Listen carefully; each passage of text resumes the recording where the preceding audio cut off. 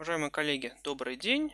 Сегодня у нас шестая лекция по курсу гистотехники, и мы с вами должны рассмотреть а, применение метода иммуногистохимии, и на самом деле мы больше будем говорить о методе иммунофлюоресценции. Почему этот метод нужен? Почему мы не можем использовать с вами обычные гистологические окраски или методы гистохимии? Ну, обычные гистологические окраски, они достаточно низкоселективны. То есть, например, тот же самый гемотоксилин 1 действительно позволяет нам дифференцировать определенные вещества на нашем препарате, определенные группы веществ, если быть точнее, но, конечно, не позволят нам обнаружить какой-то конкретный белок, если он только не обладает какой-то ферментативной избранной активностью. Тогда мы, конечно, можем подобрать на него какую-то качественную реакцию, но это, наверное, исключение больше, чем правило. И плюс мы не можем распознавать какие-то определенные участки наших больше всего нас интересуют, конечно, белки, соответственно, наших белков. И в данном случае, конечно же, методы иммуногистохимии, иммунофлюоресценции нам могут прийти на помощь. Что они могут? Во-первых, эти методы могут распознавать очень небольшие участки соответственно, то, что мы можем назвать эпитопами, причем можем распознавать участки очень немножко различающиеся друг от друга. На какой-то участок можно наработать антитело, которое будет селективно его узнавать. Например, только фосфорилированную версию какого-то белка, который нас интересует, при этом не распознавая нефосфорилированную версию. Плюс мы можем с вами увеличить чувствительность, используя специальные методики, так называемые каскады усиления. Мы об этом поговорим. В некоторых случаях вы можете получить на один эпитоп до нескольких миллионов молекул флуорохрома или еще большее количество молекул вашего хромогена, вещества, которые вы будете использовать, чтобы можно было визуализировать то место, где ваше первичное антитело а, прикрепилось. Ну и еще одна важная особенность – возможность одновременного выделения нескольких меток. Рутинно 3-4 метки в случае иммунофлюоресценции можно получить. Ну, в случае, если мы говорим о иммуногистохимии, на проходящем свете, конечно, наверное, предел это две метки, которые можно попытаться различить более-менее селективно. А, говоря о иммуно гистохимии, иммунофлюоресценции, конечно, нужно вспомнить доктора Альберта Хьюлита Кунца. И, как ни странно, исторически первым была именно иммунофлюоресценция. А, он изучал а, бактерию, а, микобактерию, вызывающую туберкулез, и брал сыворотку от пациентов, которые уже болели этим заболеванием, метил все белки, которые были в сыворотке, но на самом деле там, естественно, понятно, были прежде всего и антитела, которые распознавали этот патоген. И после этого использовал ее для того, чтобы пометить этот патоген в других срезах. И этот метод получил еще название прямого метода иммунофлюоресценции. В чем он заключается? А, в случае сыворотки от пациентов у нас в этой сыворотке были также антитела, которые распознавали в ее составе, в составе, скажем, препарата, на который мы их можем поместить, какие-то антигены. Понятно, что в данном случае эти антитела можно назвать поликлональными, так как они будут распознавать а, разные эпитопы на нашем а, антигене, разные участки. Но в любом случае они все равно такой селективностью будут обладать. Более того, мы можем эти антитела, в принципе, очистить. Например, добавить наш э, антиген, либо какие-то эпитопы, которые нас интересуют, на хроматографическую колонку, на активированную, э, например, э, какую-нибудь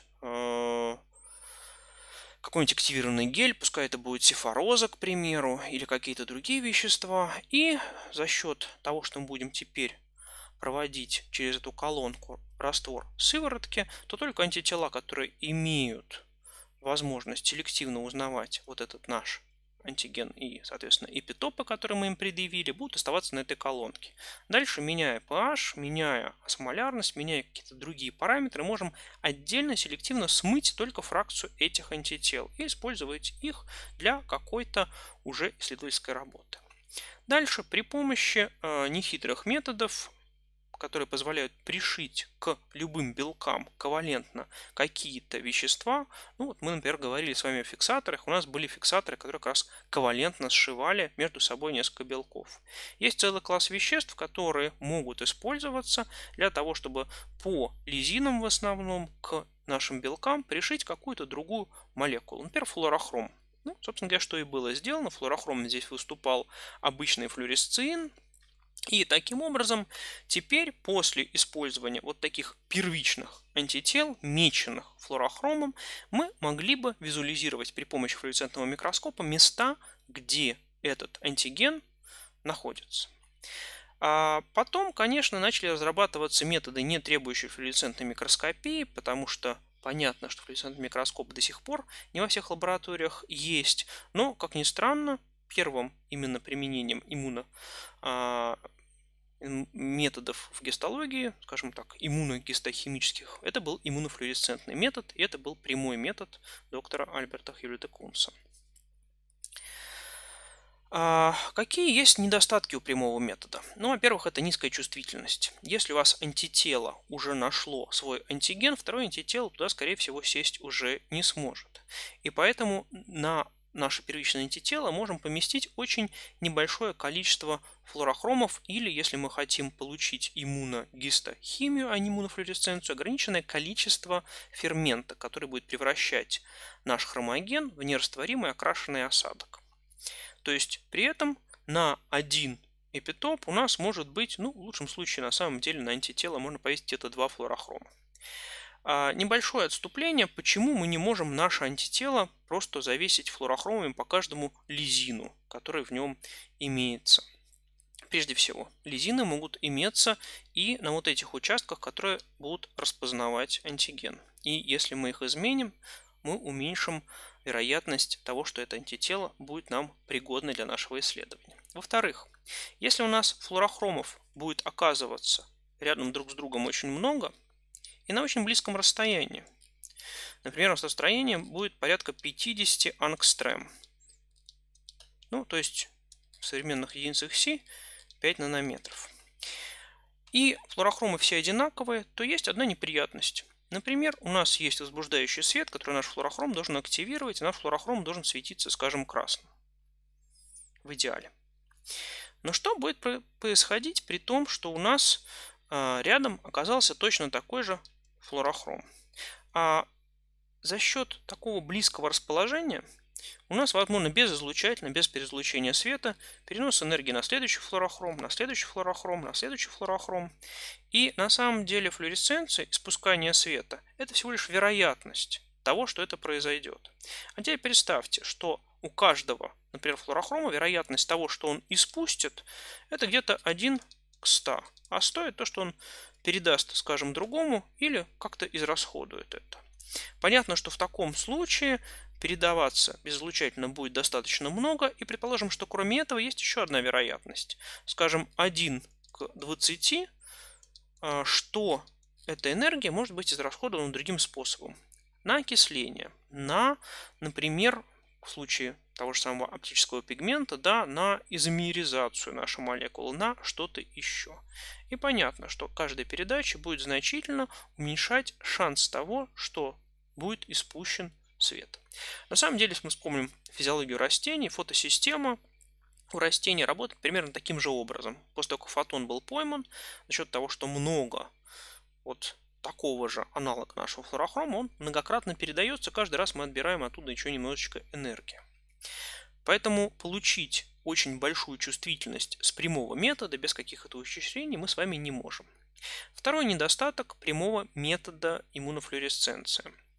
Нам необходимо использовать метку на первичных антителах, и поэтому если мы хотим использовать одно и то же антитело в разных экспериментах, то для каждого эксперимента нам придется его метить своим флуорохромом. И это достаточно э, затратный по времени процесс, ну и затратный и по количеству антител, которые на это придется пожертвовать. Ну и исторически, опять же, прямой метод использовался в флуоресцентной микроскопии, хотя, в принципе, можно пометить на первичное антитело напрямую сразу же и какие-то ферменты, например, пероксидазу хрена, которая позволит нам какой-то из хромогенов, например, диаминобензидин, превратить рядом с нашим антителом в нерастворимый осадок. Но, опять же, чувствительность низкая, и нужно метить сразу же первичные антитела, что, конечно, крайне неудобно. А, поэтому очень быстро появился так называемый непрямой метод иммунофлюоресцентного анализа. А суть этого метода очень проста. Любое антитело – это прежде всего белок. На любой белок мы можем с вами выработать антитела. Понятно, что мы не можем выработать антитела, скажем, мыши на свои же э, антитела. Это как бы вряд ли получится. С другой стороны, если мы перенесем антитела мыши в другое животное, попытаемся это животное иммунизировать, например, пускай у нас будет коза, то коза будет распознавать этот белок, эти антитела, скажем, иммуноглобулины Г, мыши, как чужеродные, и будет формироваться иммунный ответ. В данном случае будут нарабатываться антитела уже козы против иммуноглобулинов Г мыши. Более того, у нас многократно будет происходить получение подходящих э, антител, отдельных клонов, поэтому, конечно же, если мы теперь отберем с вами эти антитела, это будут поликлональные антитела, которые будут на нашем исходном антителе, скажем, мыши распознавать несколько участков, понятно, виды специфичных, которые будут различаться между козой и мыши, но это означает, что на одну антитело, например, мыши можем надеяться на то, что у нас несколько антител теперь уже козы прикрепится. И на каждом из них, если у нас есть, например, по два флорохрома, то теперь у нас на один эпитоп на нашем антигене будет уже не две молекулы флорохрома, а, скажем, 4. В принципе, есть чуть-чуть более сложные методы с каптеном сэндвичем и так далее. Например, можно сделать тройной метод, когда вы на эти антитела возьмете еще антитела какому-то животному, либо вы можете взять антитела на что-то, что вы на антитела второго животного поместили. То есть, в принципе, теоретически можно э, продолжить эту картинку. Если, скажем, у нас антитело помечено каким-то флорохромом, пускай это будет, скажем, Алекса 488, на нее можно наработать тоже антитела, которые будут ее распознавать. И на эти антитела привести какой-нибудь другой флорохром. Опять же, их можно сделать поликлональными, чтобы было больше мест. И надеяться на то, что у нас теперь будет усиление еще и сильнее. Будем считать, что здесь у нас отдельные тогда флорохромы. Ну и таким образом получается, что с некой делокализацией метки, наша исходная метка вот здесь находится, некая делокализация, так как мы навешали очень много вокруг нашей метки, позволяет нам все равно детектировать вот эти размеры. Ну, размер глобулярного белка, такой средний, порядка 15 а, нанометров, поэтому даже если мы навесим с вами, скажем, 5 белков в каждую сторону, это все равно укладывается в разрешение оптического микроскопа и проблемы не имеет. Другое дело, если вы все-таки будете работать с электронной микроскопией и с методами электронной микроскопии в дальнейшем. Значит, в чем достоинство такого непрямого метода у нас э, получились? Ну, прежде всего, у нас повысилась чувствительность нашего метода у нас на один эпитоп уже, ну, скажем так, минимум в два раза больше метки, а в некоторых случаях и больше, чем в два раза. У нас появилась возможность иметь отдельные библиотеки антител к антителам других животных, меченных разными флорохромами. То есть, предположим, нас интересует один какой-нибудь эпитоп на одном каком-нибудь антигене, предположим, нас интересует кальцисвязывающий белок калеритинин. И мы можем купить теперь э, антитела, предположим, которые наработаны в мыши против этого калеритинина.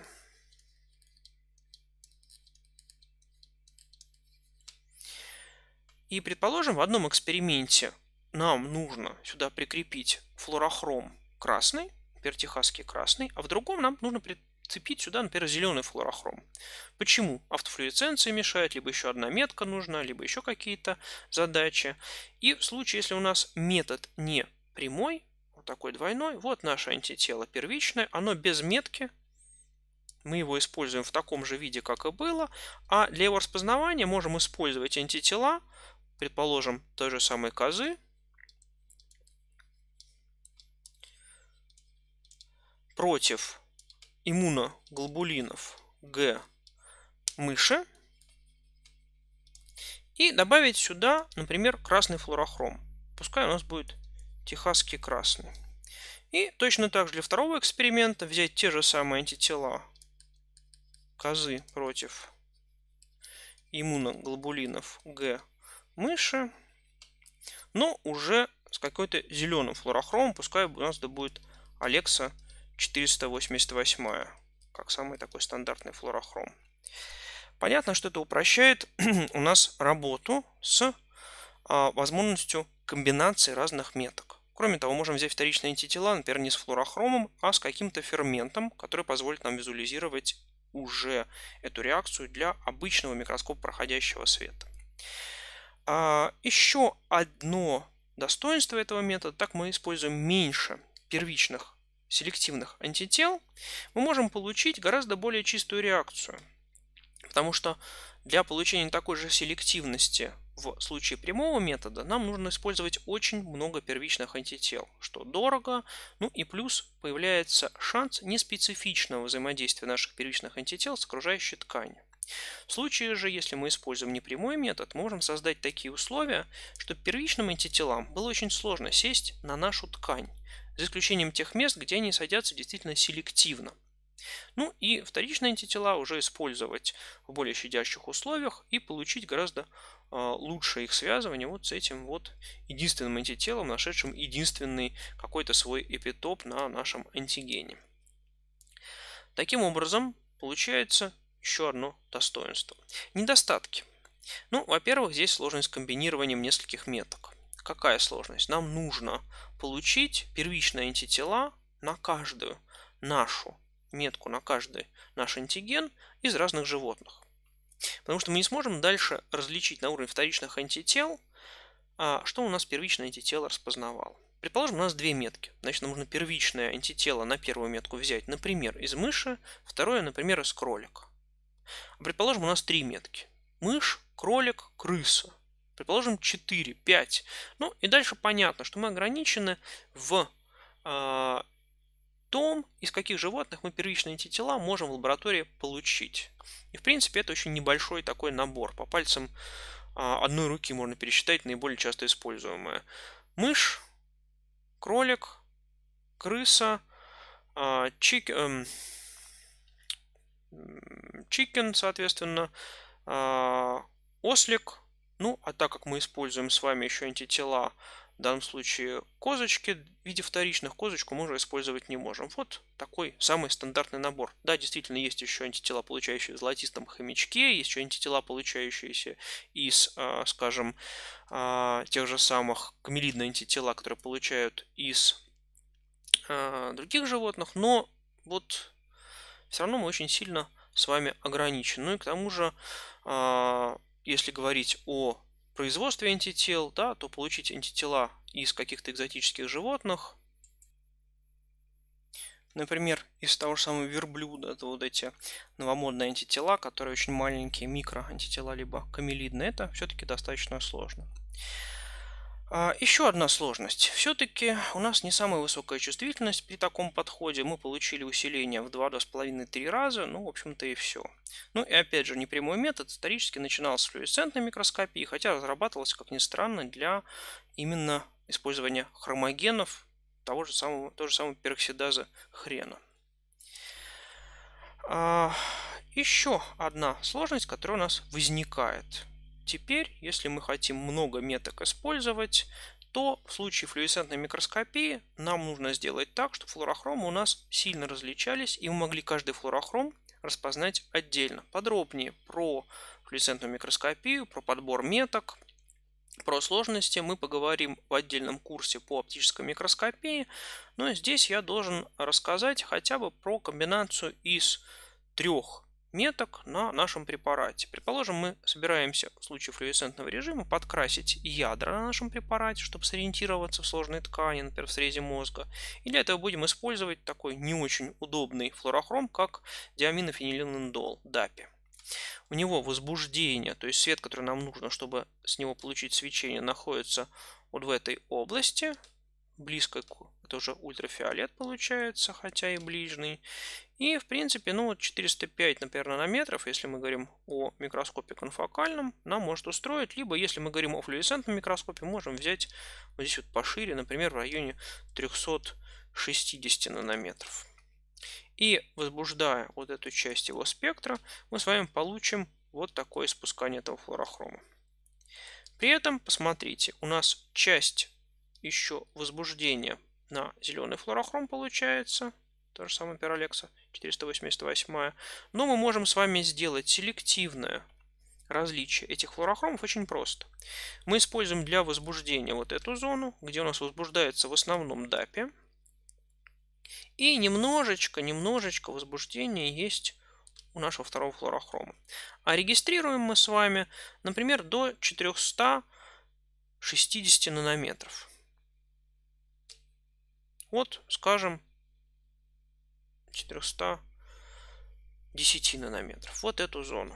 Как видите, при этом у нас получается, что мы можем увидеть только флуоресценцию нашего первого флуорохрома. И, предположим, это как раз вот был DAPI.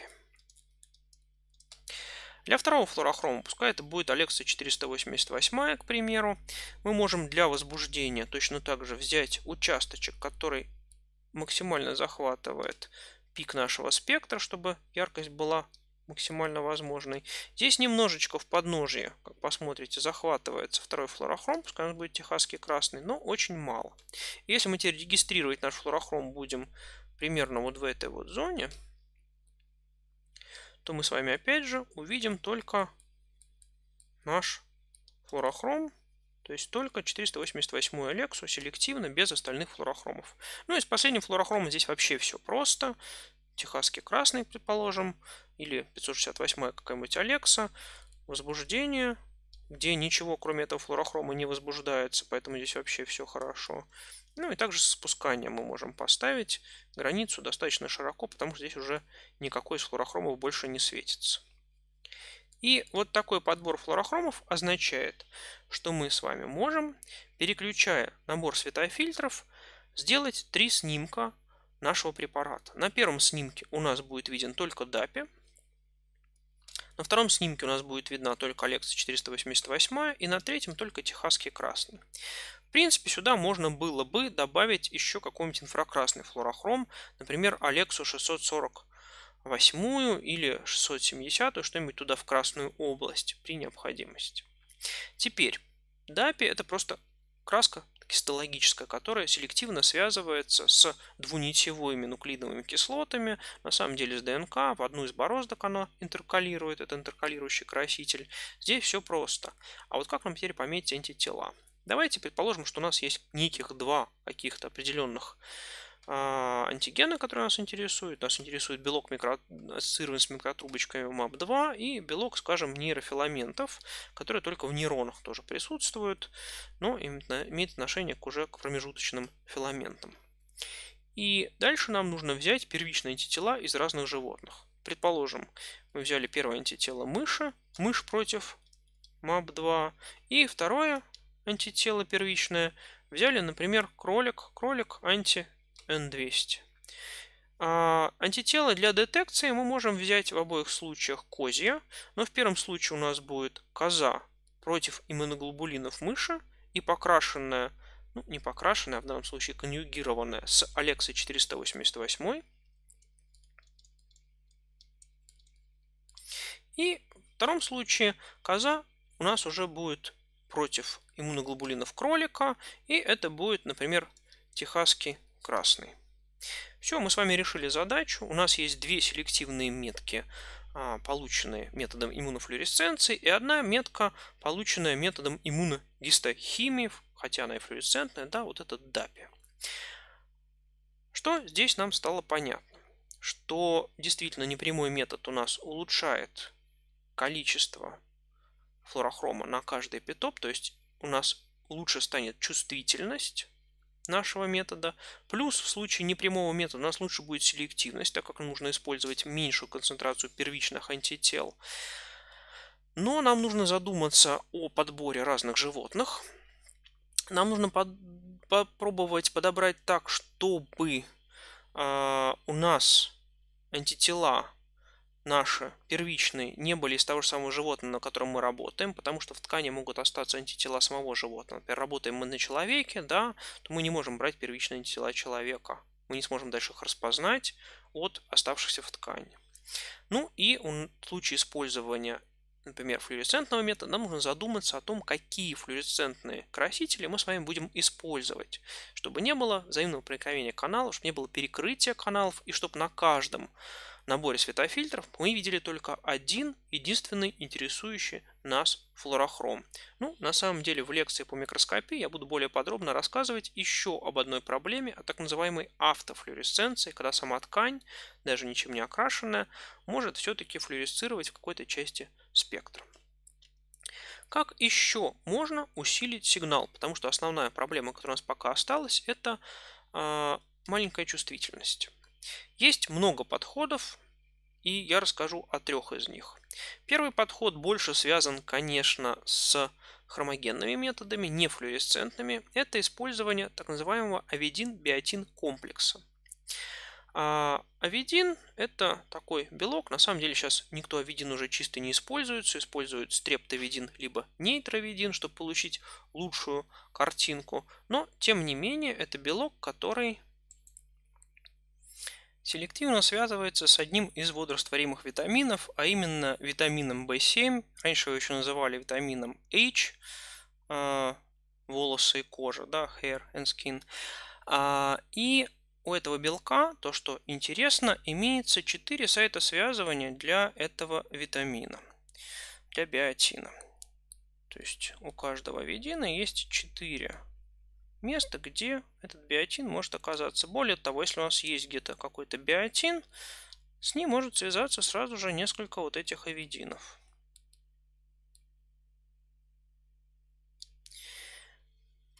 Это взаимодействие гораздо более сильное, как ни странно, чем взаимодействие антигена-антитела. И так как авидин – это белок, биотин – это низкомолекулярное соединение, но его тоже можно ковалентно связать с нашими, скажем, антителами или красителями, мы можем поступить следующим образом. Мы можем наши антитела вместо флуорохрома покрыть биотином.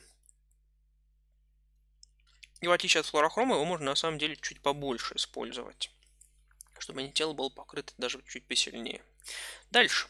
Мы можем с вами приготовить некий полимер, где у нас будет не очень много биотина, но много авидина. И тогда у нас за счет вот такого встраивания окажется сразу же некоторое количество молекул авидина с незакрытыми еще активными а, сайтами. Я напомню, что биотины мы получили меньше, чем нужно, поэтому у нас не полностью все это связано, где есть много вакантных мест, куда может прицепиться следующий авидин, если мы его добавим.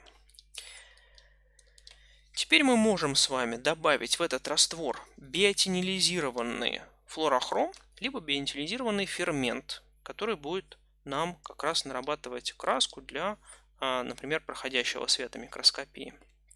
И а, в данном случае а, этот фермент будет занимать за счет биотина места вот эти вакантные.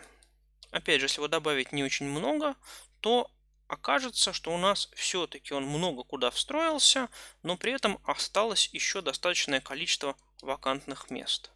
Ну и теперь, если мы добавляем вот такой уже комплекс полимерный, где много авидинов, связанных через биотин друг с другом, связанных с биотинизированным, например, флорохромом, либо каким-то ферментом, добавляем вот на такие биотинизированные антитела уже вторичные. Понятно, что весь этот комплекс на эти антитела прицепится, и я уже говорил, что взаимодействие сильнее, чем антиген антитела, плюс оно специфично. И у нас получится, что на один имевшийся у нас эпитоп на нашем антигене, место, которое распознает антитело. А, у нас будет несколько вторичных антител, на каждом из которых будет много биотинов, на каждый из которых сядет достаточно большой, объемный вот такой полимерный комплекс с многими ферментами, либо многими флорохромами. Ну и, соответственно, здесь уже усиление сигнала, во-первых, можем контролировать, э, за счет того, что контролировать можем ход реакции, можем создать вот этого полимера побольше, поменьше, и, соответственно, получить гораздо большее усиление. Следующий метод, гораздо более простой в использовании, но, к сожалению, патентованный. Это а, возможность сделать макромолекулу, на которой будет прицеплено сразу же много вторичных антител и много, например, флорохромов. Красненькими здесь обозначено. А, один из вариантов этого метода предполагал, что в виде такого полимера нуклеиновая кислота, на нее соответственно, достаточно легко можно повесить флуоресцентные красители. Они будут достаточно далеко друг от друга расположены, не мешать друг другу флуоресцировать. И через какое-то расстояние, через биотин, как ни странно, сюда можно прицепить некоторое количество вторичных антител. И тогда даже если какое-то одно из этих антител распознает первичное антитело, то вся эта конструкция, большая достаточно, длинная, до сотни нанометров доходящая, а, будет на этом месте закреплена через вот это взаимодействия антиген-антитела. Понятно, что здесь усиление сигнала может быть уже в тысячи раз, очень сильная. Ну, конечно, опять же, некоторая делокализация метки, если мы не говорим о микроскопии электронной или микроскопии сверхразрешения оптического, это не является какой-то особой проблемой. Ну и последний метод, который дает максимально достижимое сейчас усиление. Здесь уже можно говорить о сотнях тысяч раз. То есть у вас на одну одно место, а, скажем, на один эпитоп, который распознал у вас одно первичное антитело, может получиться около миллиона ваших репортерных, если хотите, молекул хромогенных, которые будут поглощать какую-то часть света, либо флуоресцентных, если вы хотите, это тоже возможно, в данном случае э, даже предпочтительно. А в чем суть этого метода, как он работает? Он очень похож на методы, которые э, можно отнести к ферментативным. И здесь это не прямой метод, где у нас есть первичное антитело, оно также остается главным, который распознает наш эпитоп. У нас есть вторичные антитела, которые распознают первичное антитело, также с другого животного. И вот здесь кроется одно отличие. На этих антителах не флуорохрома находится, а некие ферменты, а, которые могут активировать у нас вещество, которое в активированном состоянии очень хорошо присоединяется к другим белкам. Причем соединяется он с этими белками только в определенных местах, только на определенные остатки аминокислот а, может такой активированный комплекс сесть. А именно они будут осаждаться, ковалентно связываться только с тирозинами. И, на самом деле, с боковой частью этой аминокислоты. Таким образом, что получается? У нас есть несколько вторичных антител на нашем единственном первичном антителе, которое распознало один эпитоп. На этом ферменте у нас постоянно происходит ферментативная реакция, которая тирамидин активирует, после чего тирамидин активированный ищет вокруг за счет диффузии место, где есть остаток тирозина, и к нему жестко ковалентно пришивается. То есть у нас есть белок, который нас интересовал, исходный. У нас есть какие-то белки, которые нас не очень интересуют, но находятся рядом. И у них есть где-то тирозин. И тогда за счет работы этих ферментов все вокруг нашей метки на достаточно большом расстоянии будет покрыто вот такими вот активированными термидинами, которые могут нести на себе либо флорохром, либо еще один фермент. Тут можно придумать разные способы. Чаще всего, конечно, используется флорохром. И таким образом у нас получается усиление одного единственного эпитопа с одним единственным первичным антителом до ну, на самом деле, миллионов молекул, репортерных миллионов молекул флуорохрома. То есть, в принципе, мы можем таким методом обнаружить на обычной микроскопии, без каких-либо ухищрений, флуоресцентной микроскопии, одну единственную молекулу интереса, если нас будет интересовать, и, соответственно, получить ее а, расположение на препарате. Опять же, делокализация, естественно, здесь есть, но она сопоставимо с решением обычного а, оптического микроскопа, поэтому не является большой проблемой. Это метод, наверное, а, наибольшего усиления. А, конечно, мы не рассматриваем все методы, есть усовершенствование и этого метода, к сожалению, патентованное. Но э, я думаю, что для большинства задач вот нескольких таких подходов для особенно флуоресцентной работы, должно быть достаточно для того, чтобы можно было практически все решить. А, несколько слов о иммуногистохимии, когда мы не используем с вами а, флуоресцентные красители, а используем красители, которые видны в обычный микроскоп проходящего света. Какие здесь есть достоинства и недостатки? А, пока у флюорохромов у нас было отмечено несколько проблем. Ну, во-первых, флуорохромы, при том, что они могут многократно возбуждаться, к сожалению, немножечко менее эффективны, чем иммуногистохимические подходы. Сейчас станет понятно почему. А, плюс у нас есть автофлуоресценция. Плюс у нас есть выцветание препарата самого. То есть мы препараты флуоресцентные не можем долго хранить.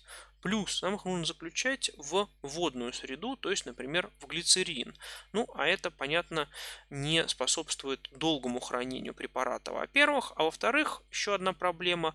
У глицерина коэффициент преломления все-таки меньше, чем у, например, канадского бальзама. Поэтому высокое разрешение с такого препарата получить будет сложнее. Ну и последнее, наверное, немаловажное, не во всех лабораториях есть флуоресцентный микроскоп. Поэтому иногда нужно будет использовать иммуногистохимию. При ней чувствительность у нас будет выше, можем использовать обычный микроскоп, ну и препараты такие могут очень долго храниться, особенно при использовании диамина бензидина, который в принципе а, сохраняет свою локализацию на препаратах очень долго, на постоянных препаратах. Давайте посмотрим, как может работать такой метод.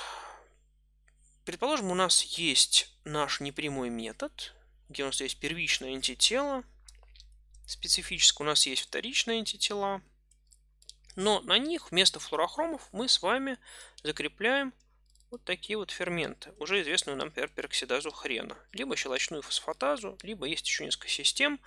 А, и эти ферменты будут превращать некое растворимое вещество, которое отмечено у нас вот здесь, в нерастворимый окрашенный осадок, который будет вокруг этого места осаждаться прямо на препарате. Согласитесь, напоминает немножечко э, термидиновый каскад усиления, о котором мы говорили, но здесь он несколько проще. Поэтому в случае вот такой иммунной гистохимии или проходящего света вы можете получить очень хорошее усиление. И более того, здесь можно снизить концентрацию первичных антител, получив а, более такую красивую, четкую картинку. Ну а если сюда добавить еще отсутствие автофлуоресценции, становится понятно, что в принципе это очень удобно. Но есть проблемы с тем, как сделать несколько меток. То есть из недостатков иммуна гистохимии можно сказать, что ну, две метки, два цвета мы еще можем различить. Например, красный или синий можем различить. Синий и коричневый можем. Красный и коричневый уже хуже. Ну и возникает еще один вопрос. Черный. Если у нас много метки оказалось, она поглотила весь свет. Это что? Это очень много красного, очень много синего или очень много коричневого. Поэтому селективно здесь сложнее разделить отдельные каналы. Мы, конечно, в теории можем, на практике это не всегда возможно. То есть максимум два хромогена, максимум два эпитопа, который можем распознать в таком препарате. А, кроме того, у нас в тканях самого животного могут оказаться те ферменты, которые мы используем для перевода нашего хромогена в нерастворимое состояние. Ну, к примеру, если мы говорим о пероксидазах, да, у нас много пероксидаз находится практически во всех тканях.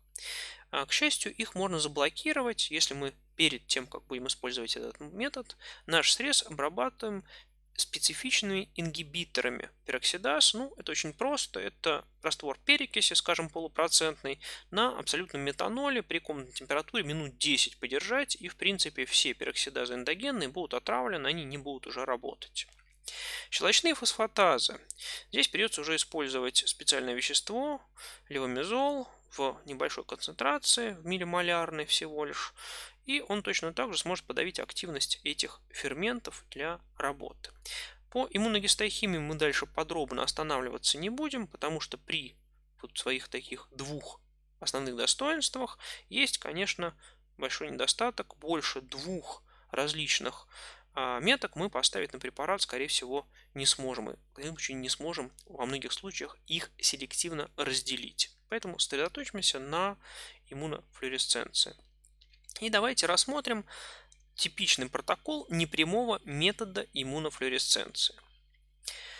Конечно, можно добавить с него много дополнительных шагов, но прежде всего, если у нас препарат после парафинового а, метода, нам нужно его депарафинизировать. Нам нужно уменьшить собственную флуоресценцию препарата, либо химически, либо физически за счет высвечивания препарата. И еще одна проблема, которая у нас остается, что в случае флуоресцентного анализа, что в случае э, анализа гистохимического, это недоступность во многих случаях эпитопа, который распознает наше антитело.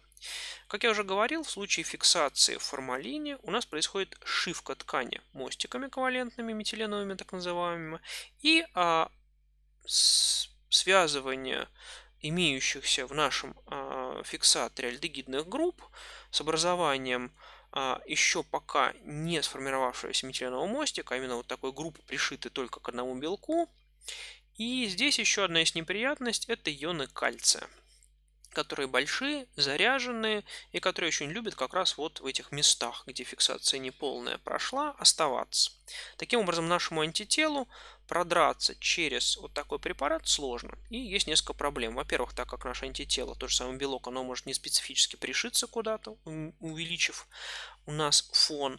Во-вторых, оно может чисто стерически просто не проползти к месту, где находится его эпитоп. Ну и в-третьих, оно может с нашим эпитопом не связаться, поскольку где-то поблизости находится сильно заряженный ион кальция, который может мешать каким-то образом денатурировать или ретурировать белок, ну, в общем, создавать неудобные для нашего антитела условия. Поэтому для препаратов после обработки в парафине, на самом деле после фиксации в альдегидных фиксаторах, нам всегда нужен еще этап демаскирования. Очень немногие антигены а, можно использовать без демаскирования, и чаще всего этот этап все-таки необходим, который при помощи, например, температуры, при помощи специальных растворов, которые будут убирать кальций, об этом мы поговорим чуть дальше, сможет сделать для наших антител доступными вот эти вот а, участки эпитопов. Теперь следующий этап после этого – это блокировка неспецифического связывания. Так как у нас антитело – это белок, то кроме взаимодействия антиген-антитела, возможно еще очень много других взаимодействий. Например, у нас на препарате есть где-то гидрофильные или гидрофобные участки. Такие же участки, гидрофильные и гидрофобные, есть и на самом антителе, и, естественно, возможно взаимодействие. Еще одна неприятность. У нас, возможно, где-то есть недофиксированные какие-то группы, которые к любым белкам могут пришиться. Тоже нужно это убрать. Третье. Возможное взаимодействие электростатические между нашим антителом и участками на препарате. Четвертое. Список можно продолжать достаточно долго. То есть есть некоторое количество способов нашего антитела, первичного, специфического, связаться не специфически с нашим эпитопом, а случайно оказавшись на нашем препарате в неподходящем месте. Как можно с этим бороться? Давайте мы возьмем на наш препарат и поместим какой-то белок, который нас не интересует. Например, бычий сывороточный альбумин, который тоже белок, который тоже может занять эти сайты, которые нам мешают. И за счет этого, в принципе, уменьшить неспецифическую окраску. Ну и, конечно, самым идеальным способом было бы использовать вот эти вторичные антитела нашего животного, но не для распознавания, скажем, вот этих вот наших антител специфических, а нормальных. От нормальной сыворотки животного, без иммунизации, без всего, они ничего не должны распознать в нашем препарате в идеале, но они очень похожи на вот эти и на вот эти вот антитела. Что означает, что те места, на которые они сядут, которые они займут, это как раз те места, на которые могли бы сесть либо первичные, либо вторичные антитела в нашем исследовании. Поэтому чаще всего для блокировки неспецифического связывания используется нормальная сыворотка вторичного животного. Предположим, вторичное животное это у нас коза, год, и тогда нормальная сыворотка козы Normal Goat Serum будет использоваться у нас в качестве блокирующего агента. А что здесь важно? После того, как вы нанесли этот блокирующий агент и подержали его некоторое время, промывки между ним и применением антител быть не должно. Если вы теперь решите использовать промывку в буфере или, не дай бог, в воде, то некоторые из этих слабых взаимодействий неспецифических могут быть разрушены. Если вы теперь добавите сюда первичные антитела, то они займут, кроме своих специфических положений, еще места вот эти неспецифические. Поэтому здесь после неспецифического, блокировки неспецифического связывания без промывки вы наносите первичные антитела, инкубируете с ними некоторое время. В принципе, можно инкубировать э, в двух способах. А, первое – это при температуре, скажем, 37 градусов, но недолго, например, 2 часа. И второе – при температуре меньше, например, плюс 4 градуса в течение, например, ночи или даже дольше. В чем различие? А, во втором случае, когда вы при, дольше инкубируете с меньшей температурой, а, у вас меньше неспецифического связывания, меньше шанса такого неспецифического взаимодействия. И, конечно же, если у вас есть на ваших препаратах значительный фон от неспецифического связывания, то изменение протокола для того, чтобы сделать при меньшей температуре дольшее время, может вам помочь. Значит, после первичных антител нам нужно отмыть их излишек. Здесь отмывка в буфере происходит, возможно добавление небольшого количества какого-нибудь детергента, тритона сотового, например. Применение вторичных антител. Здесь уже чаще всего это при 37 градусах в термостате 2 часа. Отмывка от вторичных антител, ну и, соответственно, какая-то контракраска, если нужна, заключение в среду. Давайте рассмотрим протокол более подробно уже в текстовом виде. Серым здесь отмечены необязательные части, которые нужны для каких-то а, специальных препаратов. Например, депарафинизация, понятно, нужна только для тех препаратов, которые были залиты в парафин и абсолютно не является необходимой для, скажем, криостатированных препаратов или вибратомированных. Подавление флуоресценции тоже нужно только в случае, если вы с флуоресцентным методом собираетесь работать. Если вы не планируете флуоресцентного метода, это не является обязательным. Демаскирование антигена. Опять же, если у вас, например, вибратомный срез не фиксированный, оно не обязательно. Но промывка в буфере перед тем, как вы будете блокирующий раствор использовать, конечно же, необходима. А блокирующий раствор применяется разное время. Ну, вот э, для некоторых тканей, например, для ткани мозга, фиксированных в формалине, мы используем, например, 2 часа, 120 минут. А для многих других тканей, особенно для тонких срезов, а иногда можно обойтись и 30 минутами без потери а, качества.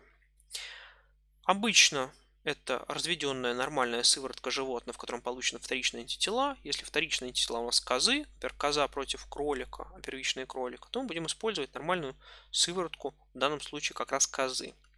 И здесь есть еще одна неприятность, еще один момент, на который нужно нам с вами также отдельно, а, который нужно отдельно отметить и остановиться. Если у нас, например, не было нормальной фиксации нашего препарата, то у нас могут оказаться цельными все мембраны наших клеток. И, конечно, антитела тогда внутрь, если у нас наш антиген, скажем, внутриклеточный, попасть не могут. Тогда в блокирующий раствор, либо перед этим добавляя отдельный этап, нужно добавить агенты, которые немножечко подразберут мембраны. Те же самые, а, например, тритон сотый, твин и некоторые другие детергенты. В более жестких случаях можно использовать, например, сапонин и некоторые ферменты, которые сделают ту же самую работу. Тут все зависит от ткани, от условий, в которых вы работаете. Значит, блокирующий раствор мы использовали, заблокировали неспецифические взаимодействия без промывки, но убрав излишек, стряхнув просто препарат излишек блокирующего раствора, мы инкубируем с первичными антителами. Они опять же разведены в нормальной сыворотке нашего животного вторичных антител, но в меньшей концентрации. В принципе, возможно, опять же, применение веществ, которые будут способствовать проникновению этих первичных антител уже в нашу ткань лучше того же самого тритона, например. Дальше. Отмывка в буфере от первичных антител, инкубация с разведенными вторичными антителами необходимой концентрации, ну и если это, скажем, у нас флюоресценция, на этом у нас все кончается. Нам осталось только промыть теперь в буфере и заключить наш препарат. Какие здесь есть особенности использования? Ну, во-первых, конечно, если мы будем инкубировать наши стекла целиком, нам понадобится очень много раствора. И задача, особенно для первичных антител, очень дорогих, специфических, уменьшить объем раствора, который нам для этого нужен. Но уменьшая объем раствора, понятно, мы можем с вами встретиться с высыханием раствора, который мы с вами используем. И поэтому инкубация в таком случае проводится во влажной камере. Не обязательно покупать фирменную, можно сделать и самим, в принципе. Но вот такие фирменные камеры из темного пластика, которые позволяют работать с флуоресцентными препаратами, конечно, очень удобно. Вторая вещь очень удобная – это маркер, внутри которого есть некое очень гидрофобное вещество. Если вы этим маркером введете какую-то часть на стекле, то добавляете теперь сюда жидкость, жидкость не будет выходить за нарисованной этим маркером границы. Если вдруг так получилось, что у вас по какой-то причине нет возможности купить этот маркер, его в принципе можно изготовить. Продаются в а, магазинах для художников пустые маркеры, то есть металлическая вот эта часть, а, кончик маркера, и вы можете использовать любой растворитель, который растворяет, например, парафин, причем, например, легкоплавкий парафин, гексадецен какой-нибудь, и э, залить эту смесь вот в такой маркер, получить такой самодельный. Он, конечно, будет э, гораздо хуже пахнуть, более опасен для здоровья, хуже работать, но в принципе как возможность подходит. Еще одна возможность, если вдруг ну, совсем ничего в лаборатории нет. Вы можете поместить сверху на вашу каплю над вашим препаратом покровное стекло, под которое положить, скажем, два кусочка скотча. И тогда у вас между покровным стеклом и вашим препаратом будет а, какой-то определенный мертвый объем, в котором будет находиться ваше вот это первичное антитело долго. Испаряться будет только по краю совсем немножечко. Ну и можно таким образом сэкономить. Ну и если есть возможность, то очень рекомендую вот такую систему. Она в свое время продавалась э, фирмой Thermo. Называлась она э, Sequenza. Я не знаю, продается ли она сейчас, потому что есть какие-то сложности с патентами, почему-то она теперь отдельно не идет. Но выглядит она вот таким образом. Это а, покрывашечки на стекла, у которых, если посмотреть на профиль, есть выступающие части, небольшое углубление, опять выступающая часть. Если вы теперь сверху кладете ваше стекло, давайте его синим нарисуем, чтобы было понятно то у вас между стеклом, где есть препарат, и вот этой покрывашечкой образуется полость, в которой как раз у вас и поступает жидкость, которую вы используете. Дальше вы устанавливаете вот такую э, конструкцию в специальную ванночку, она в ней хорошо фиксируется, и вы можете добавлять сверху раствор какой-нибудь, и так как поток здесь будет ламинарным, то добавление нового раствора, старый раствор будет из такой конструкции просто выдавливать. То есть, например, вы хотите сделать какой-то реагент после промывки буфером, вы добавляете, к примеру, 80 всего лишь микролитров. И этого достаточно, чтобы полностью вычистить предыдущий раствор. Дальше вы, например, хотите а, промыться от этого раствора, добавив буфер, наливаете сверху те же самые 80 микролитров, и у вас полностью заменился этот раствор буфером. Причем вам не нужно вынимать ваше стекло для промывки, для инкубации тоже ничего не нужно делать, так как вот это расстояние между стеклом и камерой очень маленькое, то вода или любой другой раствор будет держаться за счет капиллярной силы. То есть он не будет выливаться. И это аналог вот такой вот влажной камеры, гораздо более удобный, очень удобно в холодильник ставить несколько таких сразу же конструкций. Ну и за два дня, скажем, в некоторых случаях требуется такая долгая инкубация, вода оттуда не испаряется. То есть ваши препараты остаются под слоем воды совершенно в нормальном состоянии. А, в принципе, а, по опыту могу сказать, что если у кого-то есть 3D а, принтер специальный, который печатает при помощи отверждаемой пластмассы, то создать 20-30 микрон вот такую вот впадинку можно. Можно распечатать такие конструкции самим и сделать. Конечно, не такие красивые, не такие удобные, но в принципе, я надеюсь, что наш университет когда-нибудь купит такие принтеры нам, мы могли бы тогда даже при невозможности закупки этого э, пластикового оборудования изготовить ее в том числе и сами. Таким образом, у нас есть возможность сэкономить реактивы достаточно значимо. И еще одна вещь, о которой нужно будет поговорить, это вот то самое демаскирование антигенов. А, предположим, у нас есть некий препарат, который красится очень плохо, если мы ничего не делаем. Во-первых, много неспецифики, во-вторых, нужно очень большую концентрацию антител. Скажем, у нас здесь будет работать концентрация 1 к 20. Понятно, что антитело очень дорогое, его будет очень жалко в такой концентрации использовать. И, как видите, очень грязная картинка. При такой громадной концентрации у нас получается, что очень э, много лишней окраски. Предположим, мы хотим отработать для концентрации, скажем, 1 к 100.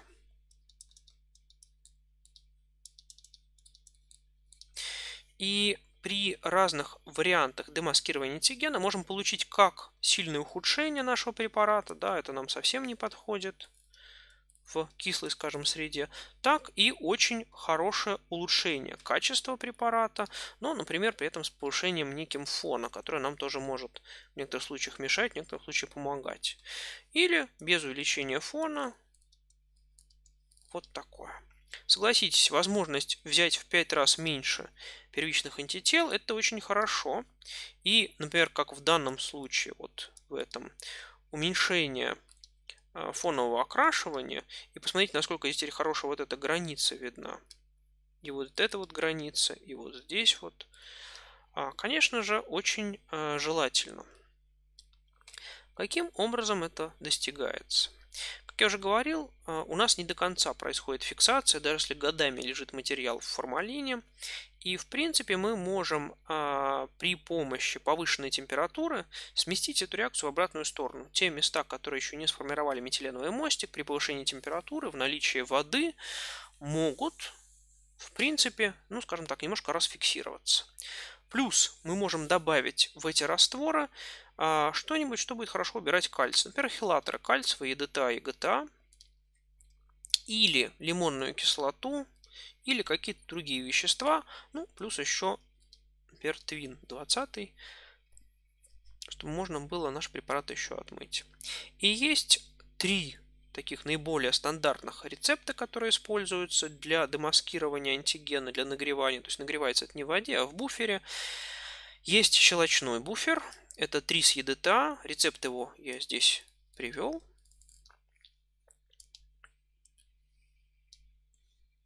Где как раз содержится кальциевый хилатор, где содержится э, трисовый буфер, но заметьте pH щелочной 9.0.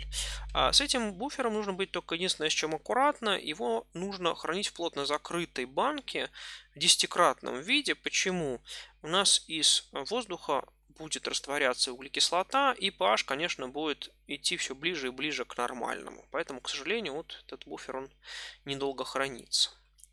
А в случае, если мы будем говорить о а, нейтральном, так называемом а, варианте, вот, вот этот вот вариант, это цитратный буфер SPA 6.0, однократный. Здесь видно, опять же, его пропись. Хранить тоже долго нельзя по другой причине. Он очень хорошо зарастает сразу же бактериями, грибами. То есть даже при хранении в холодильнике, скажем, 2-3 месяца, он приходит в негодность. Ну и последний вариант кислого. Это цитратный буфер, но с pH уже равным 4. А если вы не знаете, как с вашим антителом работать, вам придется экспериментально попробовать сделать ретривинг со всеми четырьмя, а в некоторых случаях есть еще другие рецепты, а, буферами, посмотреть, в каком случае у вас работает лучше, и на этом буфере уже остановиться. В некоторых случаях производители пишут, что для работы с парафиновыми срезами, например, там человека или крысы или еще кого-нибудь, эти антитела которые производитель гарантирует, лучше работают при, скажем, демаскировании в кислом или щелочном а, варианте. Тогда можно просто воспользоваться этой информацией с прописи и сократить себе время исследования. Каким образом можно нагревать наши образцы? Ну, на самом деле, если у вас ничего под рукой нету, подойдет обычный автоклав. Если есть автоклав, если есть стеклянная посудина, а, то, на что нужно обратить внимание, автоклав должен иметь короткий цикл, который будет нагревать, скажем, до 121 градуса Цельсия, пускай будет 10 минут, но иметь так называемый свободный выход из цикла, то есть оставить при такой температуре ваши препараты и дать им спокойно остывать без сброса давления. Почему? Если вы сбросите давление, вода закипит, на препаратах у вас будут пузырьки, которые сильно повредят структуру вашего образца. Если же ваш автоклав позволяет сделать охлаждение без сброса давления, ну, это идеальный вариант. Соответственно, тогда вы можете э, охладить ваш образец до температуры, скажем, там, градусов 90, после чего открыть клапан, чтобы туда все-таки зашел воздух, потому что понятно, что у вас в автоклаве останется только пар, который будет, естественно, конденсироваться, и в противном случае у вас там получится вакуум, дверцу будет не открыть. Но вот такой подход, он наиболее хороший. На самом деле для демаскирования важна не только максимальная температура, но и вот это время остывания. Если вы не будете спешить, не будете специально стужать препарат, результаты получаются лучше. Кроме этого, существует большое количество таких вот коммерчески доступных уже устройств, и наиболее удачное устройство это вот это вот. моему мнению, опыту, Опять же, может быть, я просто не все видел. Кроме того, можно использовать бытовые устройства, рисоварки, например. Есть э, пароварки под давлением, скороварки электрические, тоже хорошо. И есть возможность использовать еще для этого микроволновое излучение. И для некоторых гистопроцессоров есть вот такие вот блоки, которые можно ставить в микроволновый гистопроцессор. Как ни странно, в некоторых случаях микроволновая обработка даже с меньшим давлением меньшей температурой может сработает лучше для некоторых групп образцов. Ну, это скорее не правило, а вот такая возможность. Опять же, если ничего нет, но есть автоклав, можно использовать для этого автоклав, либо скороварку-рисоварку. Давайте посмотрим на протокол. Теперь уже не некий усредненный, а конкретный для какой-то работы. Предположим, у вас есть образцы, в данном случае, например, пускай будут образцы мозга, которые были получены парафиновым методом. И первое, что нам нужно в нашем протоколе, это депарафинизация. В ксилолах мы растворяем парафин, в этанолах мы частично регидратируем, и все остатки ксилола, которые мы могли бы перенести из второго раствора, в двух этанолах смываем. А, этанол 70 это просто более-менее плавный переход в уже буфер и отмывка в буфере для получения наших препаратов. Дальше, демаскирование антигенов. Нам классически желательно промыться в том же самом буфере, который мы будем использовать для демаскирования, чтобы он не смешивался с исходным. Пускай у нас будет в щелочном буфере это сделано, в автоклаве со свободным остыванием на 10 минут. И дальше промывка уже в буфере, который мы будем использовать дальше для а, работы с блокирующим раствором, например. То есть, соответственно, пускай будет а, TBS. Промывка в TBS, блокирующий раствор. А, рецепт блокирующего раствора приведен вот здесь. И после этого мы можем в нем выдержать какое-то время, опять же, для а, нервной ткани лучше чуть подольше подержать, мы используем 120 минут при комнатной температуре. На что нужно обратить внимание? А, в любом случае, при хранении той же самой сыворотки а, происходит неприятность, часть раствора на краю вашего эпендорфа или банки, которую вы храните, подсыхает. И белки очень любят агрегировать. Если вы теперь выльете вот такой вот раствор на ваш препарат с агрегирующими белками, то к этим же конгломератам белков могут опять же неспецифично сесть и блокирующий раствор, и первичные антитела, и вторичные, и можно получить такой красивый эффект звездного неба. Как от этого избавиться, чтобы не было вот такой вот отдельных точек, яркой метки, а, центрифугировать. В любом случае эти куски белковые будут достаточно большие, и центрифугация вашего блокирующего раствора, например, пускай будет 14 тысяч G, это обычный мини-спин, позволяет 10 минут, если есть охлаждение, можно еще с охлаждением, позволяет эту проблему решить. Значит, оцентрифугировали в вашу блокирующий раствор, нанесли на стекло, 20 минут при комнатной температуре подержали, без промывки наносите теперь первичные антитела. А, можно использовать вот такую пропись. Единственное, я не писал в данном случае концентрации ваших антител, потому что они будут зависеть от ткани, от антитела, которое вы используете, и могут составлять от в самом плохом случае 1 к 5 до в самом хорошем случае, например, 1 к 10 тысячам. Возможно, очень большая разница. Поэтому и доводить водой вернее TBS, нужно будет до 1 мл уже по тот объем, который у вас получится. Опять же, первичные антитела на баночке где-то могли высохнуть, сыворотка, которую доливали, где-то могла высохнуть. Лучше центрифугировать, чтобы вот этого звездного неба на препарате не было. А после первичных антител, например, на ночь в холодильнике на 12 часов, этого будет для большинства антител достаточно. Промывка в э, буфере, нанесение вторичных антител.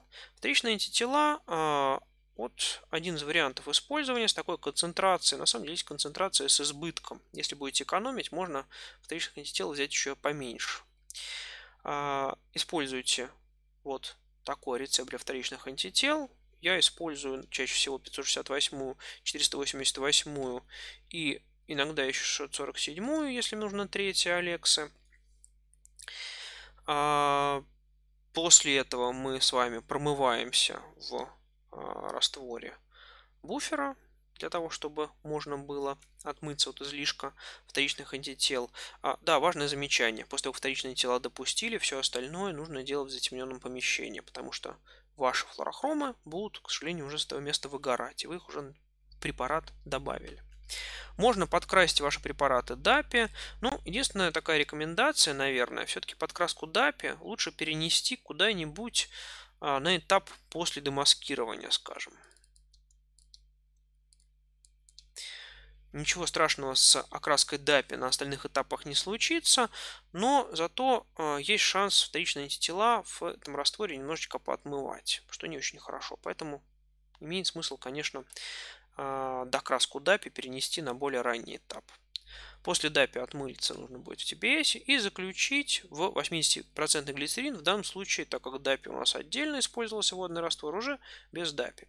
Почему я не рекомендую пользоваться средами сразу же с добавлением DAPI, что казалось бы очень удобно. На самом деле DAPI, даже когда он не связан с нуклеиновой кислотой, все равно флюоресцирует, светится. Просто он светится, флюоресцирует в 40-45 раз слабее. Что это означает? на кубике для DAPI у вас будет всегда виден синий фон. Это тот DAPI, который не связался с вашим препаратом. А вокруг препарата у вас будет такой просвет. То есть весь DAPI, который мог связаться с нуклеиновыми кислотами, связался. Да, вокруг препарата такой темный ореол, а дальше светлый ореол в глицерине. Многие ругают обычно глицерин, говорят, глицерин плохой. Нет, просто DAPI у вас в нем растворен.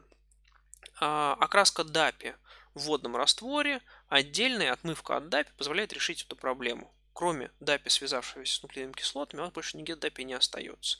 Ну и второй момент, DAPI, он канцероген, подтвержденный канцероген для человека, и, конечно, заключение в глицерин никогда не сделает чисто, даже в перчатках, везде где-то будет оставаться этот глицерин плюс DAPI в нем. Наверное, это не очень хорошо. Если вы DAPI используете водный раствор, ну, с ним можно работать аккуратнее и уж точно нигде случайно не загрязните им лабораторию. После того, как вы заключили 80% глицерин, можно зафиксировать ваше покровное стекло и уменьшить фотовыцветание, проклеив лаком, либо э, специальной смесью, которая называется Валап, ваш препарат по краю покровного стекла и хранить дальше в холодильнике на плюс 4 градуса. Ну, если это флуоресценция, лучше ее снимать в ближайшие несколько недель, ну, месяцев, потому что дальше будет выцветать.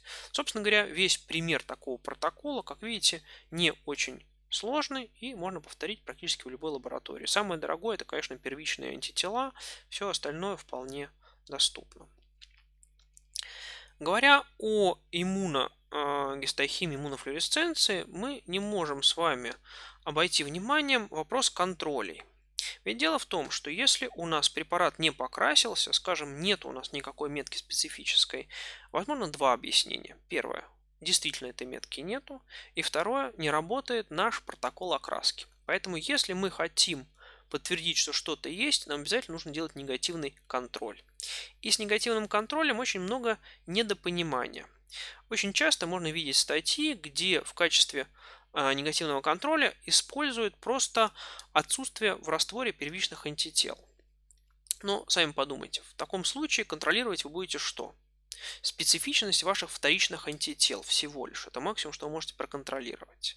Но никак не специфичность, скажем, а, а, того, будет ли связываться даже не иммунная сыворотка вашего животного, которые вы использовали в качестве первичных антител, с какими-то дополнительными эпитопами в ткани.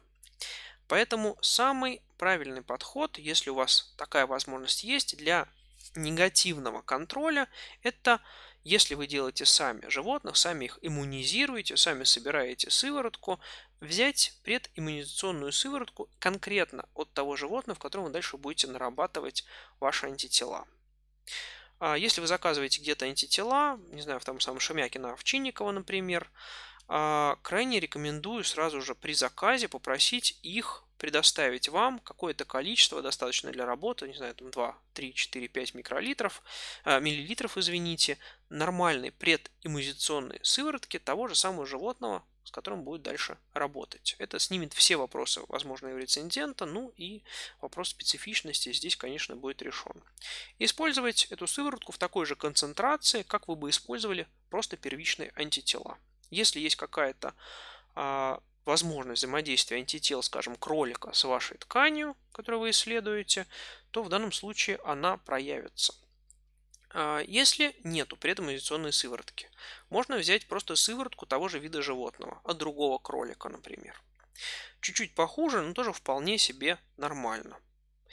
Что делать, если вы используете, к примеру, антитела, ну, скажем, моноклональные, которые получаются из гибридома. Да, самого животного мыши уже нету, это гибридома, именно мышь с какой-то раковой клеткой. Использовать вместо этого нормальную сыворотку мыши. Это вполне допустимо. И только если ничего из этого невозможно, тогда вам остается в принципе, использовать э, просто отсутствие первичных антител, ну, нужно понимать, что это не совсем честный негативный контроль, это, скажем так, контроль ваших вторичных антител. Следующий контроль, который вам необходим, позитивный. Вам нужно показать, что то, что вы ищете на образце, действительно доподлинно присутствует. То есть вам нужна ткань, в которой содержится ваш интересующий вас антиген. И здесь можно взять, опять же, какую-то ткань, в которой это точно есть, либо добавить его, если необходимо. И очень удобно здесь использовать технику микромассива ткани, когда вы можете а, взять ваш препарат, блок, например, парафиновый. И ваш парафиновый блок, кроме вашего препарата, а, при помощи микромассива ткани добавить, скажем, позитивный и негативный контроль и какой-то средний контроль, например, где какая-то концентрация есть, но очень небольшая. Таким образом вы будете на вашем препарате видеть действительно какую-то ткань с отсутствием, с присутствием и с каким-то небольшим количеством вашего интересующего вас а, эпитопа. Ну и, соответственно, если вы теперь получили какую-то здесь информацию, вы получили здесь полное отсутствие вашего распределения, здесь у вас очень хорошо виден, здесь какое-то количество, вы можете говорить, что ваш метод работает, ну и более того, это можно использовать как какой-то калибрант определенный. А, кстати, я еще забыл упомянуть насчет негативного контроля. Что еще можно в случаях а, сложных делать? А, многие фирмы, та же самая Sigma, Upcam, продают первичные антитела к различным ксенобиотикам, веществам, которых в животных, в нормально растущих, никогда в жизни не встречается. Для чего такие антитела нужны? Это как раз может быть вашим негативным контролем. Если у вас ничего больше нет, вы берете эти антитела, используете в качестве первичных, и понятно, что они ничего не должны покрасить. Если они что-то красят, значит здесь есть какая-то а, неспецифичное взаимодействие. Значит, понятно, если нам нужно доказать, что чего-то нет, нам нужен позитивный контроль в обязательном виде. Если нам нужно доказать, что что-то есть, нам нужно будет, соответственно, негативный контроль. Но какие еще контроли возможны? Ну, э, у нас может быть несколько различных производителей антитела для нашего эпитопа. В некоторых случаях, для того, чтобы доказать, что это так, нам может потребоваться, скажем, несколько клонов различных моноклональных антител на тот же самый, к примеру, кальбиндин. Какой-то из них может работать, какой-то не работать, но тем не менее это может, в принципе, нам подойти. Плюс возможность проверки изотипа взять, скажем, не иммуноглобулины Г, а иммуноглобулины М, ну и, соответственно, на иммуноглобулины М тогда нужно и вторичные антитела тоже, например, иметь. Последнее, что мы можем сделать, в виде, опять же, контроля, иногда встречается так называемый адсорбционный контроль. Это означает, что вы ваше первичное антитело а, провели через хроматографическую колонку, на которой были закреплены ваши антигены. То есть получается, что вы из сыворотки ее объединили, убрали те антитела, которые должны были как раз распознать и найти интересующий вас антиген. И этот контроль показывает, что остальные части, остальные антитела, которые у вас содержатся в вашем растворе, они ничего на вашем препарате не распознают. Иногда это требуется. Ну и последний анализ, который нельзя, конечно, отнести к гистологическому, это анализ селективности ваших антител. Вы делаете тотальный лизат вашей ткани, вы делаете обычный вестерн-блот, вы используете эти антитела, если они работают в варианте вестерн-блота, для вестерн-блота, и смотрите, сколько у вас полос получилось, получаются ли эти полосы под те же самые а, массы, которые а, для ваших белков характерны. Ну, на самом деле, эту полосу можно дальше вырезать, трипсинизировать, взять еще и на масс-спектрометрию, подтвердить уж совсем последним методом, что действительно в этой полосе содержится ваш белок интереса. Это уже реже требуется, и чаще всего это есть в документации на антитело, но пример, когда может потребоваться, например, вы работаете на каком-то нестандартном животном. Например, антитела показано, что работают, к примеру, на а, мыши, а вы работаете на человеке. Не факт, что кросс-реактивность будет достаточно, чтобы распознать эти же антитела на человеке, вам тогда придется это самим доказывать. Каким образом доказывать? Позитивно-негативный контроль. Понятно, все хорошо, но вдруг они распознают что-то другое. И тогда вы делаете для вашего образца человека тотальный лизат, делаете с этого лизата, соответственно, электрофорез вестерн блот, выливаете ваши первичные антитела, а, смотрите, какие полосы они распознали. Если вы знаете для человека, скажем, человек хорошо отсеквенирован, понятно, здесь все очень просто. А, знаете размер белка, знаете примерно, где он должен полагаться на вашем геле, а у вас одна полоса, то все прекрасно. Плюс можете уж совсем для успокоения совести эту полосу взять на масс-спектрометрический анализ, подтвердить, что искомый белок в этой полосе есть и больше нигде нету. Вот для чего это может потребоваться. Практическое замечание, которое я, к сожалению, обязан сделать. Как вы увидели, иммунофлюоресценция, хотя она и не очень сложная, зависит от очень большого количества разнообразных параметров. И подбирать их все вручную, если не работает стандартный метод, это достаточно кропотливая и сложная задача. И самый лучший подход – это если кто-то за вас уже это хотя бы один раз сделал. То есть найти в литературе там, где работают с тем же антигеном, который вы хотите, на том же животном, на котором вы хотите, желательно в тех же условиях, и просто повторить этот протокол. Ну, как минимум, еще а, проще будет отвечать рецензенту, почему так делали. Опубликованная статья, в которой это уже а, использовалось. Это помогает избежать многих, многих известных проблем. Ну, Например, проблемы с фиксацией. Да? Мы с вами говорили, что разные фиксаторы дают артефакты. Например, метанол, э, актин разбирает, там, э, формалин, микротрубочки, какие другие фиксаторы имеют какие другие проблемы. Например, проблемы с тем, сколько вам нужно антител использовать. Ну и многие другие сложности при вот таком литературном подходе могут быть, в принципе, устранены.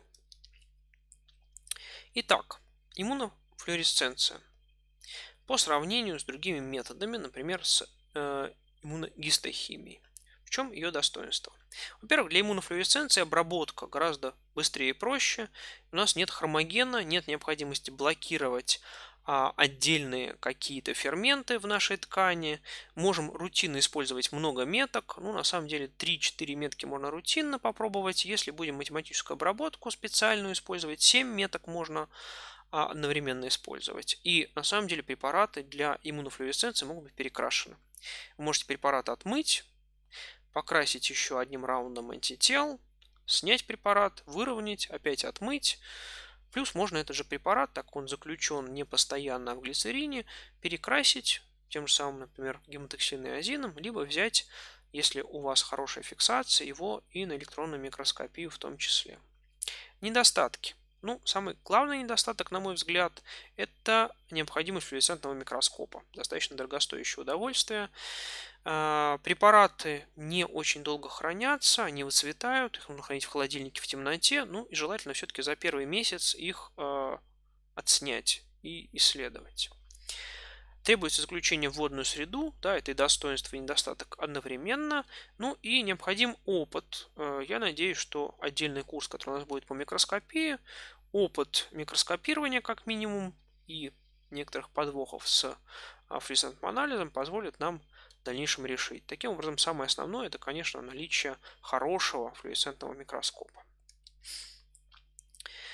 Немножечко остановимся э, напоследок на выборе антител, как их правильно выбирать, какие есть подводные камни, на что нужно обратить внимание.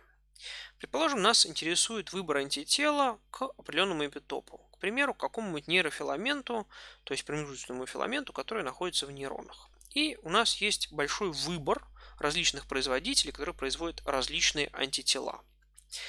А дальше нам нужно посмотреть на сопровождающую документацию, и чаще всего в ней описано, какие применения этого антитела возможны. Например, очень хорошо это антитело, именно вот, которое здесь, работает для замороженных срезов, для срезов в парафине, чуть-чуть похуже работает для вестернблота, ну и в принципе э, нету такого применения, которое бы точно не подходило. Плюс для этих применений уже указаны разведения антител, которые подходят. И нас, например, будет интересовать иммунофлюоресценция. Вот, и мы знаем, что разведение нужно примерно такое какое-то. Второе, на что нужно обращать внимание, естественно, это то, в ком получены эти антитела. Например, если у нас кролик, а мы хотим с вами использовать э, антитела, то антитела кролика на кролике без специальных дополнительных а, действий мы использовать не можем. Плюс, если нас интересует, например, две метки, мы работаем с вами, например, с крысой, то мы уже кролика использовали. Нам теперь, если вторая метка потребуется, нам придется, например, брать мышь. Причем мышь-кролик достаточно близки, то есть они должны быть еще очень хорошо очищены. А, следующее, на что имеет смысл обратить внимание. Поликлональные или моноклональные антитела. На самом деле моноклональные антитела это, конечно, хорошо. Они распознают один единственный эпитоп с вашего белка. Но что это означает? Предположим, у нас есть большой наш белок, и у нас теперь есть на нем один единственный уникальный эпитоп. В случае, если мы будем использовать антитела моноклональные, все, что мы получим. В случае, если поликлональные, которые могут на самом деле быть менее специфичными, но они могут распознавать на нашем белке много различных мест. И что мы с вами получили? Мы с вами получили бесплатное усиление сигнала, хотя и некую потерю э, точности распознавания нашего э, единственного, как в данном случае было бы возможно, эпитопа. Для гистологии, конечно, поликлональные антитела, если они хорошие, если не имеют никакой кросс-реактивности с другими, а, скажем так, белками, они будут абсолютно идеальны. И их еще иногда кросс-адсорбируют специально так, чтобы они только распознавали участки, которые более-менее уникальны, потому что понятно, что у многих белков есть домены, которые повторяться будут также и в других классах белков. Ну и, естественно, нужно обратить внимание, на ком эти антитела уже были проверены. То есть, например, для этих антител есть кросс-реактивность с мышью, кроликом, коровой, кошкой, человеком, свинкой. Все это можно использовать. Последнее, что может быть важно, если нету перечисленных в этом списке ваших животных. Это иммуноген. На что именно было выработано это антитело. А, в данном случае на полноразмерный белок и это для нас хорошо. Плюс в данном случае это антитело поликлональное. Тоже все прекрасно. В некоторых случаях, особенно если мы говорим о моноклональных антителах, используется из всего нашего белка для наработки какой-то специфический фрагмент, предположим, вот этот вот, который для этого белка уникален. И что это означает? Если в случае описания антитела производитель указал, что антитело работает, например, с человеком, вы хотите работать с мышью, и у вас есть последовательность вот этого участка, на который нарабатывалось антитело. Вы можете проверить, так как мышь тоже отсеквенирована, если такая же последовательность уникальна для белка мыши. Если есть, вы можете ожидать, что, скорее всего, на мыши это антитело тоже сработает. Если этот домен или этот участок будет различаться, очень велик шанс, что антитело которая работает на человеке, на вашу мышь уже не подойдет и работать нормально в данном случае не будет. Очень часто производители дают еще очень полезную для нас картинку, а именно картинку э, Вестернблота, который был получен с этих антител. И у белка, например, может быть несколько изоформ, и вы можете увидеть, что вот белок это распознает сразу несколько изоформ для какого-то определенного животного. Для какого-то другого животного вот только две изоформы он распознал. И понятно, что в этом случае использовать его очень хорошо, он очень селективный, все прекрасно. В этом случае, когда совсем-совсем много полос, нужно смотреть, может какая-то из этих полосок, это на самом деле не изоформа этого белка, а какой-то другой белок, имеющий тот же самый домен. Вот, поэтому наличие приложенного вот такого вестерн-блота к э, спецификации антител бывает очень и очень полезно.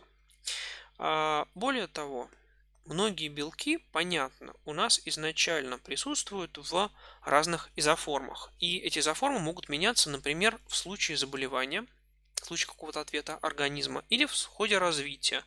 К примеру, э, некоторые белки, которые ассоциированы с белками цитоскелета, во время развития головного мозга меняют свои сплайс-варианты. То же самое белок, например, есть а, ассоциированный с микротрубочками, называется а, MAP2. Он только в нейронах. И у него есть несколько изоформ. А, Б, С, Д. Причем С еще несколько. Это, в принципе, его сплайс-вариант.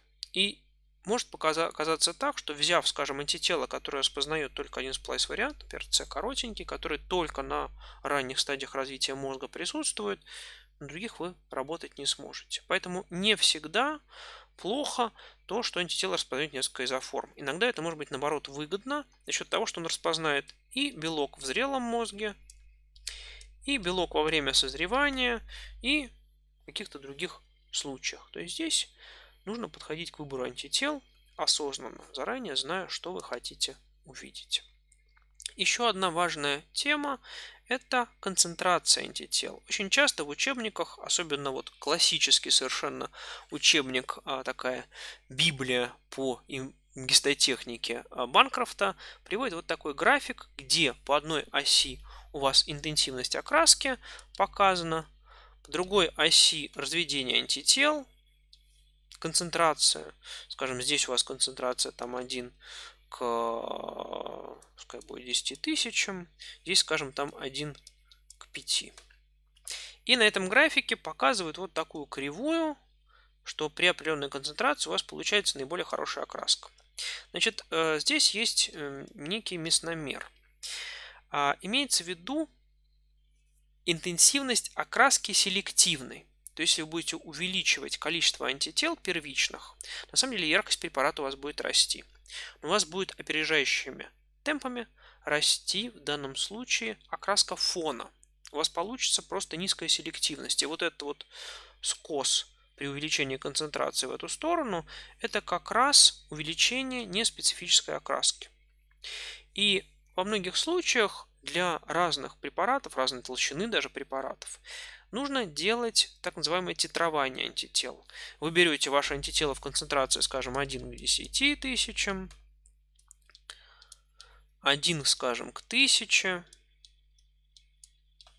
1, скажем, к 500, 250, к 100, ну и, скажем, к 50. Получаете серию препаратов. На каких-то препаратах у вас нет реакции, и вы можете сразу вычеркнуть эти концентрации. На остальных концентрациях у вас есть на вашем препарате картинка. Но, скажем, вот на этих концентрациях у вас очень много неспецифики. Тоже не подходит. У вас осталось две концентрации, с которых вы можете выбирать. Понятно, что ваша задача сэкономить антитела, чтобы работать с ними как можно дольше. Ну и, соответственно, выбор тогда антитела, который вы будете использовать в данной задаче, очевиден. 1 500 минимальное количество антитела, которое позволяет вам получить хорошую контраст вашего препарата, это самый идеальный вариант. Поэтому вот такой график, который приводится из книжки в книжку, из учебника в учебник, это не яркость препарата, это именно селективность качества препарата, что после определенного значения количества первичных антител качество препарата будет падать за счет очень большого фона. Ну и если вы используете несколько меток, как я уже говорил, есть несколько сложностей. Во-первых, прежде чем делать препарат сразу с несколькими метками, сделайте препарат с каждой меткой по отдельности. Во-первых, это позволит вам проверить, как эти метки, как эти антитела работают а, независимо друг от друга. Иногда бывает неприятная вещь, что антитела в коктейле работают хуже, чем по отдельности. Или какой-то из них просто перестает в коктейле работать. Редко, но вот, к сожалению, в моей практике несколько было а, вариантов антител, когда такое происходило. Кроме того, если вы работаете с иммунофлюоресценцией, вы можете на вашем препарате, на вашем микроскопе отснять ваш препарат на кубики для того флуорохрома, с которым вы будете работать, например, с Alexa 488 и кубик Alexa 488, и можете снять тот же самый препарат на кубике, скажем, DAPI и на кубике Alexa 568. Для чего? Посмотреть, нету ли взаимного проникновения каналов, не происходит ли утекание сигнала вот этого зеленого от 488 Alexa, скажем, в красный канал. Так у вас метка только одна, вы знаете, что ничего другого нет. Любой сигнал, который появляется в других кубиках, это либо автофлюоресценция, а вы можете ее проверить, сняв просто препарат без окраски, либо вот это вот взаимное проникновение каналов перетекания в соседний. Нужно проверить, какая из меток вам более важна и использовать для нее самый наилучший флуорохром. Предположим, у вас какой-то метки мало, она очень небольшом количестве, ее сложно найти, какой-то метки много, она вам нужна просто для ориентации на препарате. Предположим, что у вас автофлюоресценция препарата смещена в красную область. Но ну, это редко, конечно, бывает, но это совсем прекрасно, потому что наш глаз, если смотреть глазом, лучше видит зеленый свет. И тогда зеленую метку вы возьмете на а, редкую метку, которая буквально несколько рецепторов, на препарате, и красную метку, которая, несмотря на автофлуоресценцию, будет хорошо видна, потому что ее много, для вот много представленного, скажем, цитоскелетного маркера, который позволит нам в препарате сориентироваться. Первичные антитела должны быть из разных животных и не должно пересекаться с тем животным, на котором вы делаете этот эксперимент. Однако появляются специальные наборы Xenon, mouse on mouse, human on human и так далее, позволяющие на самом деле использовать в редких случаях антитела, например, человека на человеке. Сразу предупрежу, что это как бы последний такой рубеж. Если ничего другого сделать не можете, тогда этими наборами имеет смысл пользоваться. Они, мягко скажем, не дешевые, усложняют очень сильно а, последовательность этапов, и некоторые из них патентованы, то есть не совсем понятно, как они работают. Тем не менее, могу сказать, например, про набор мышь на мыше и про набор а, человека на человеке. Они действительно могут использоваться и используются, например, набор человека на человеке при а, некоторых исследованиях, а, например, автоиммунных заболеваний. Выбор флорохрома. Возбуждение и спускание разных флорохромов у нас должны быть хорошо разделены, чтобы мы могли их в случае флуоресцентного анализа независимо, селективно увидеть. Естественно, перед этим мы должны пойти на тот микроскоп, на котором мы планируем в дальнейшем проводить исследования, посмотреть, какие кубики есть, на что вообще можем рассчитывать, какие флуорохромы мы в принципе можем выбрать. Если же это конфокальный микроскоп, как минимум мы должны посмотреть, какие лазеры на нем установлены, чтобы подобрать под эти лазеры флуорохромы. Более подробно об этом в курсе по оптической микроскопии, но, конечно, этот курс нельзя было оставить без этих отдельных замечаний. Пример четырех меток, которые можно использовать. Предположим, нас интересуют 4 метки, и мы можем взять для их работы, например, вот такую комбинацию. 405, 488, 555 и 647 Alexa. И, предположим, мы возьмем наш конфокальный микроскоп SP5 лейка без белого лазера с обычными лазерами 405 и аргоником гелий-неоновым лазером линии лазеров здесь у нас нарисованы, которые у нас есть. И мы хотим подобрать под них краски. Как раз вот эти краски подходят, конечно, не идеально, но очень хорошо. Почему? У нас есть возбуждение 405, и при такой регистрации мы зарегистрируем только наш первый флорохром, Алексу 405. Проблему решили. 488. Конечно, у нее пик 496, и лучше использовать лазер как раз 496 нанометров. Более того, в аргонике эта линия есть, ее можно было бы использовать. Но 488 позволяет нам немножко лучше решить эту задачу тем, что уменьшает возбуждение второго флуорохрома. Опять же, выбрав вот так зону регистрации, мы только этот флуорохром зарегистрировали, решили проблему. Следующее, Alexa 555. Надо сказать, флуорохром плохенький, очень неяркий, но тут деваться некуда. Можно было бы вместо нее еще использовать, например, 568. С ней, правда, тоже есть свои проблемы. Значит, возбуждаем не в самом максимуме. Нам бы хорошо бы лазер здесь иметь, но имеем, что имеем. При этом возбуждается только этот краситель, остальное практически не возбуждается. Ну и теперь границу регистрации можем взять, чтобы захватить в основном его. Ну, с последним красителем здесь все очевидно. 635 нанометров у нас, хотя на лазере написано 633, не верьте, неправда. На самом деле 405 лазер тоже 403, если быть совсем честным. И а, мы здесь получаем возможность регистрации только этого флуорохрома. Почему? Ничего кроме него не возбуждается. Потом, поставив вот такие границы, мы теперь получим только его. Подбирать флуорохромы удобно в так называемых спектровьюверах, программках. Вот ссылка на одну из программок приведена ниже, как раз с параметрами, которые представлены на этом графике. Таким образом, сегодняшнюю лекцию мы с вами должны будем завершить. Мы поговорили о методах иммуногистохимии, иммунофлюоресценции. Мы поговорили о способах усиления сигнала, о прямом непрямом методе, о различных дополнительных методах, например, с использованием полимерных красителей, с использованием термидинового каскада усиления. Мы поговорили с вами о нескольких протоколах, подводных камнях, которые здесь могут встретиться, и рассмотрели вариант подбор нескольких флуорохромов для, в данном случае, такого даже сложного четырехканального препарата. А, следующие лекции у нас будут по теории микроскопии, оптической и флуоресцентной, коротенькие. Более полный курс пойдет отдельно. И еще у нас будет одна лекция о современных методах о молекулярной гистологии, о методах просветления ткани и так далее. Ну, а сегодняшнюю лекцию мы с вами завершаем. Спасибо за внимание, и я с вами прощаюсь.